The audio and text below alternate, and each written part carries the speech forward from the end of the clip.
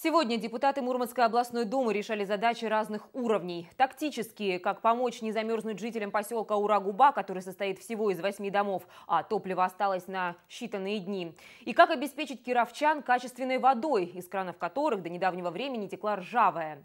Решали депутаты и стратегические задачи, например, каким образом лучше сверстать бюджет области. Не забыли народные избранники и о себе, точнее о зарплатах своим помощникам. У каждого из депутатов их может быть до пяти человек, человек, а вот сумма зарплаты одна на всех. В таких условиях народные избранники иногда должны решать, принимать на работу несколько помощников, но платить мало, или одного, но высокооплачиваемого специалиста. Вопросы оплаты труда людей у власти депутатами рассматриваются не впервые. Критику со стороны общественности и прокуратуры вызвало решение о зарплате чиновников. Народные избранники говорят, речь идет не о заоблачном повышении оклада, а о премиях. И только для квалифицированных работников. Даже оппозиционные депутаты на этот раз согласны. Депутаты не получили надбавки, о чем сегодня все пытаются говорить, не получили надбавки.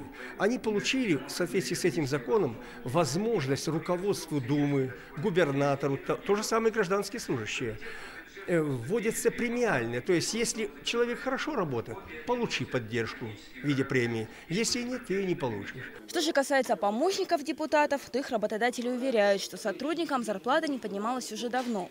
Кстати, каждый депутат вправе иметь до пяти помощников, а может ограничиться и одним. Вот сегодня фонд оплаты труда этих помощников 86 тысяч рублей. Разделите на 5 человек, сколько на одного приходится. Ну, сейчас я вам скажу. Получается 17 тысяч рублей, да, ну, чуть, ну, в полтора раза выше прожиточного минимума. Ну, вот считайте, много это или мало. То есть это вы уж сами оцениваете. От частного к общему на заседании депутаты сразу в двух чтениях приняли поправки к бюджету этого года, чтобы не осталось неосвоенных средств.